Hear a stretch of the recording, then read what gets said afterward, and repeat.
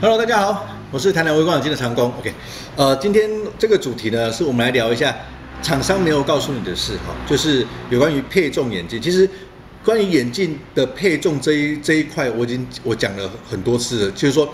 其实眼镜的配重，它的比重非常重要。那现在也开始有一些厂商开始出来一些所谓强调说眼镜配重的部分。但是目前市面上有一些配重的眼镜，我看过了，也有厂商拿来给我看，也有自己也试戴过，发现有一部分我自己戴的感觉，发现有一些问题哦。呃，我可以跟拿出来跟大家讨论一下。那当然，这是我自己戴的一个观，我的感觉跟观点呢，给各位做一下参考。那你们也可以试从这个方面，比如说你们到呃眼镜行去要去试戴这种有有关于配重眼镜的不时候，你们有一有几个重点，你们可以稍微注意一下。我们来看一下啊，呃，比就是说市面上配重的方式很多，但是不外乎就是什么呢？就是在镜角的后面这边加重，哦，让它整个眼镜的配重是比较往后戴，但是。有很多的设计，我觉得出了有一点点问题啊。我们来看最经典的，就像这一款哈，看到它整个金属框，然后整个金属细角到这边做一个加重的一个配重。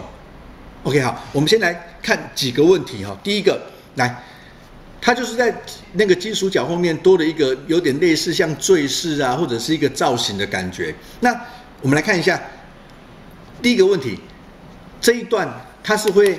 贴在我们的耳朵后面，对不对？可是你看哦，它细的，我这样看了，这是一只金属的细角。那一般大部分金属细角后面是这个样子，OK 没有问题嘛？可是它凸了这一块，那凸出来的这一个部分会不会去顶到你耳朵的那个后面的皮肤？因为我戴的时候会有这个感觉，哎，就会有一个像有一个异物感，有一个那个。台语叫做点点啦，好，然后就是会有一种，因为它不平整嘛。那因为我们你会想要去买配这种眼镜，就是什么呢？就是要让我们眼镜比较不容易滑落。那你要不容易滑落，我们在镜角后面一定会怎么样？尽量去贴合我们耳朵后面的皮肤，对不对？增加它的摩擦力嘛，不是只是靠重量而已，还有增加好内镜角内面跟我们耳朵后面的皮肤的贴合。对不对？这样子是不是整个稳定性才会好？可是像它凸这个样子，那你贴合起来是不是会有一种异物感？好，这是第一点要注意的。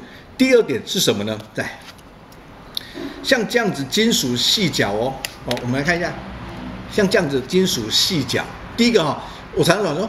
如果你要配眼镜，像像我自己以前也很喜欢这种金属细角，因为我觉得很漂亮啊。这个我们业界的术语叫汤匙角，好，就是它这个形状有一个像汤匙一样，就是没有脚套的。那整体的质感其实是漂亮的。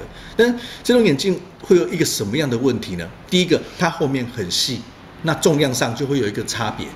再来呢，金属表面会比较光滑，所以相对的它的。摩擦力也会比较小嘛，所以它如果说你的前面的镜片稍微重一点，后面的重量轻，像这样的金属细角，我们再戴起来，第一个比较容易不舒服。所以你看哦，可是它后面是用这样子细的，然后下面加重，这个会产生一个什么样的问题？来，这个是我们的，譬如说这里是耳朵，我们靠着，这里已经细了，这边加重是不是会往下压？然后它细，这边压，是不是它的压力反而是变大的？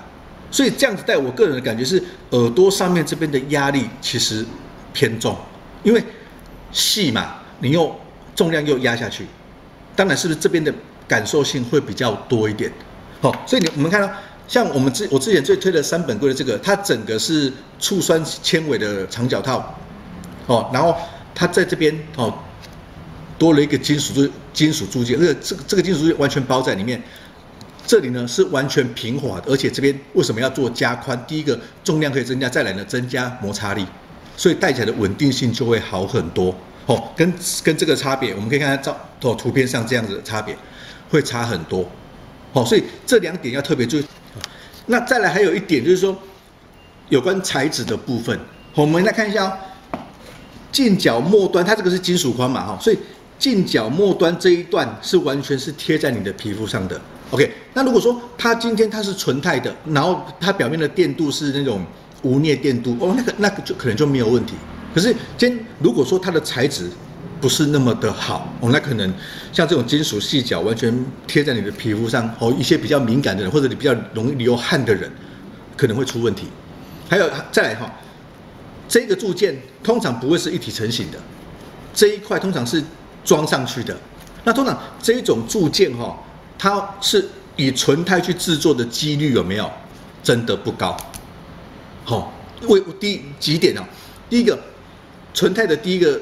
做这种铸件造型的，第一个成本高，再来呢，纯钛比较轻，它如果要做配重这一块，它可能用的不是纯钛，那这一段又跟你的皮肤接触在一起，就会比较容易产生一些问题。好，所以各位，现在市面上开始出现了很多有关于配重眼镜的呃这样子的东西，可是这这几点哈，各位稍微注意一下。那怎么样去找适不适合呢？我还是建议。最好内面是比较平整的，好像这种内面有造型比较不平整的，要稍微注意一下。那你在试戴的时候，哈，要特别注意哦。最好我们手可以去摸一下耳朵后面，就说你可能在当下镜框，因为可能一只新的镜框完全没有按照你的脸型去调整过嘛，所以它可能你在试戴的时候，它后面这一块是没有碰触到你的皮肤的。哦，那你可能戴的当下你觉得没有问题，可是当去把它调整之后。去把它贴合你的皮肤的时候，再戴的可能不适感，可能就会产生了。所以呢，你可能我的建议是这样子：你试戴之后呢，可以手伸到耳朵后面，把这边往你的皮肤稍微贴，稍微调整试一下，看看那个感受，你有没有觉得不舒服？哦，这个很重要。好，所以以上这三点，我们再特别再复习一下，就是说，第一个，金属细角这一段，它的摩擦力跟稳定性，还有它的产生的那个什么，对耳朵上的压力可能会稍微大一点。好，然后再来，后面这一段铸件可能会产生不舒服。好，再来就是材质的部分。好，以上配重的部分，我还是会建议找镜角末端是有这个脚套的，会好一点。好，以上就是这一次有关于配重眼镜的一些注意事项，给大家做一下参考。如果你觉你。你自己去试戴，你觉得很 OK 很棒，当然它还是可以买。我现在讲的是什么呢？我自己试戴的感觉哦，跟我在看镜框的一些观点，给大家做一下参考哦，希望对大家有帮助。好，谢谢各位。